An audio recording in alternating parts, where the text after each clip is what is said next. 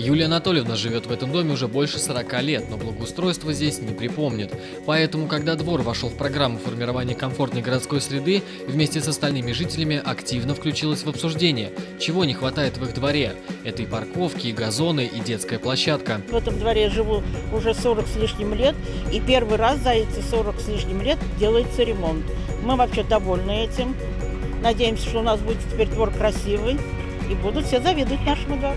По благоустройству двора, конечно, мы были бы рады, что вот зону нам сделали такую, как мы хотели бы, чтобы были беседки, например, чтобы там в жаркий день там и поиграть там какие-то игры, и дети могли, и вот взрослые пенсионеры, вот, и детская площадка, чтобы была, чтобы было где детям играть и проводить свой досуг. Всем работам во дворах предшествовали общественные обсуждения. Жители сами решали, чего они хотят увидеть у себя под окном. Парковку, детскую или спортивную площадку, дополнительные лавочки или клумбу. Опросы проводились в разных форматах, в виде личных встреч, на сайте администрации и по телефону. Ход работ жители окрестных домов тоже контролируют вместе с местными властями. Работа проводится по благоустройству, как видите, да, Мы приводим порядок, асфальтирование, тротуары, брусчатка.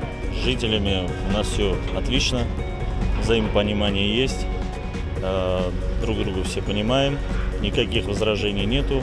В Иксе, кроме этого двора, в этом году планируется благоустроить еще 23 дворовых территории, а также одно общественное пространство – любимый горожанами парк «Лебединый рай», за который на рейтинговом голосовании 18 марта проголосовали почти 19 тысяч выксунцев.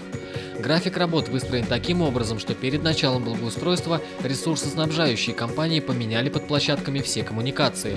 Под новым асфальтом должны лежать новые трубы. Глава региона Глеб Сергеевич Никитин определил основным из главных приоритетов именно благоустройство дворовых территорий и общественных пространств. И уже в текущем году в рамках субсидий и выделения федеральных и областных средств на данные цели округ Выкса получил более 28 миллионов рублей. В прошлом году по проекту формирования комфортной городской среды уже благоустроено более 170 дворовых территорий в Нижнем Новгороде и Дзержинске. Реализовано 13 крупных проектов по благоустройству парков и скверов в 11 районах области. В этом году в программе участвуют все районы Нижегородской области. Там предстоит благоустроить больше 60 общественных пространств, 6 парков и почти 700 дворовых территорий.